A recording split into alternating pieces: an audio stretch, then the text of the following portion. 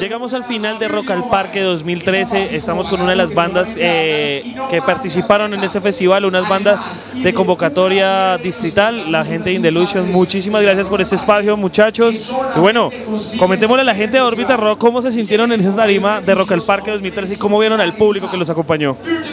nos sentimos buenísimo, ¿no? Hágale. El público, no, buenísimo. O sea, la gente se conectó. O sea, cuando terminó la, la banda anterior, Liana, pues hubo gente que se fue, pero cuando subimos nosotros y empezamos a tocar la segunda, tercera canción, la gente empezó a venir y otra vez se llenar y estuvo muy, muy, muy bueno. Estuvo tremendo, realmente. Y nos sentimos, nos hicieron sentir muy bien.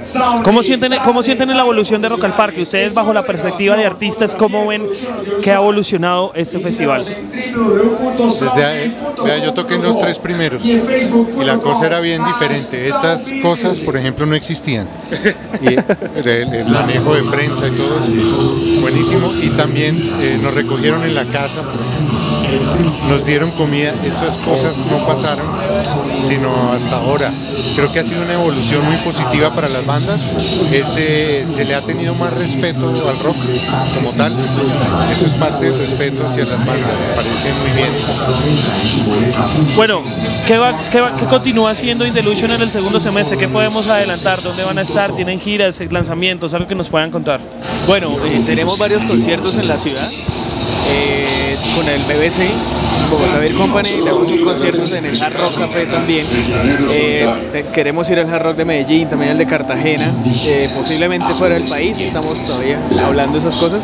Y estamos en el estudio. Estamos grabando ya nuestro próximo sencillo.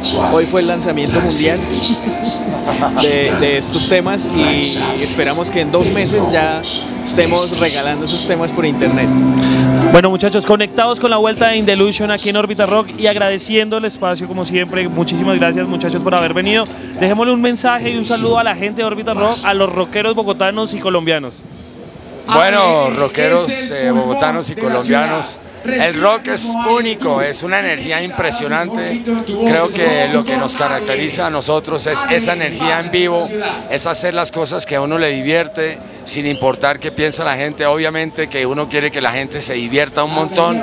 El mensaje es rock, amor y vivir porque solo se hace una vez. Así que vivirla, vivir los sueños, siempre vivir los sueños, trabajar, echarle amor, y con eso sale todo. Un beso a todos y gracias. Gracias.